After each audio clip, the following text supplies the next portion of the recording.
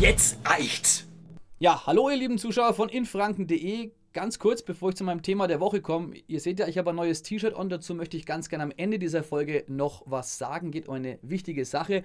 Jetzt aber, wie gesagt, zum Thema der Woche. Heute geht es ums Fliegen. Ich weiß nicht, ob ihr jemals ein Flugverbot wegen einer Tätowierung bekommen habt. Aber ein junger Engländer hat es geschafft. Der hat auf einem Flug äh, nach Malle seine Tätowierung hergezeigt im Flieger. Und es war ein Pinocchio-Tattoo.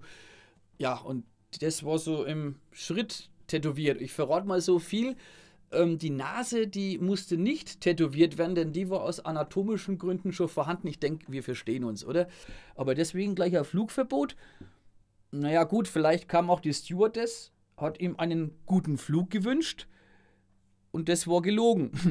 Den Rest könnt ihr euch denken. Ob die Dame, der ich heute mein Lied widme, ein lebenslanges Flugverbot nach Franken kriegt, das weiß ich jetzt nicht. Aber liebe Sophia Tomalla, ähm, das war schon ein Geniestreich. Also man kann sagen, es war vom Posting her, war es jetzt nicht äh, allzu toll. Die Frage, gibt es in Nürnberg einen Flughafen? Na, ganz ehrlich, liebe Sophia, wir Franken, wir leben noch auf Bäumen, beim Laufen schleifen unsere Handknöchel noch auf dem Boden und wir sagen zum Bürgermeister noch Häuptling. Und die Zugereisten, also die sogenannten Wahlfranken, die ernähren sich ausschließlich von Plankton. Den hast jetzt nicht verstanden, ne? Das wundert mich überhaupt nicht. Ja, fangen wir mal mit dem Lied an. Tomala, Tomala, du hast ja nimmer alla. Tomala, Tomala, du hast ja nimmer alla. Ich hielt es ja für unwichtig, doch man hat mich gebeten, für dich Sophia heute ein Lied zu schreiben. Ein Selfie aus dem Flieger, ein blöder Spruch dazu und ganz Franken ruft, die soll zu Hause bleiben. In Nürnberg gibt's einen Flughafen, das habe ich nicht gewusst und es ist wichtig, dass du uns das erzählst.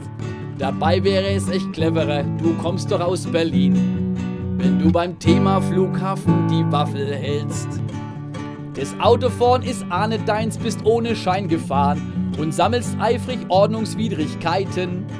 120 in zwei Monaten, 90 mal falsch geparkt. Ob du ganz sauber bist, Darüber lässt sich nicht mal streiten. Tja.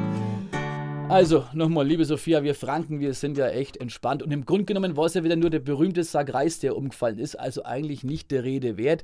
Aber nur mal so als kleiner Tipp: ähm, Der Markus Söder, der kommt auch aus Nürnberg. Und wenn du uns vielleicht nochmal so als Franken ein wenig als Hinterwäldler darstellen willst, ist er vielleicht auch mal beleidigt.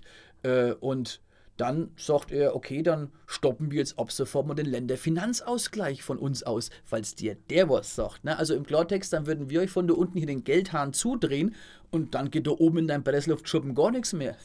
Nicht einmal mehr Flieger. Und dann kannst du für den nächsten Ausflug äh, selber ein Rikscha klöppeln. Das ist uns dann auch wurscht. Also beim nächsten Mal erst denken und dann posten. Jetzt eicht's. Das heißt, noch nicht ganz, ihr Lieben. Wie gesagt, ich habe es ja schon angekündigt.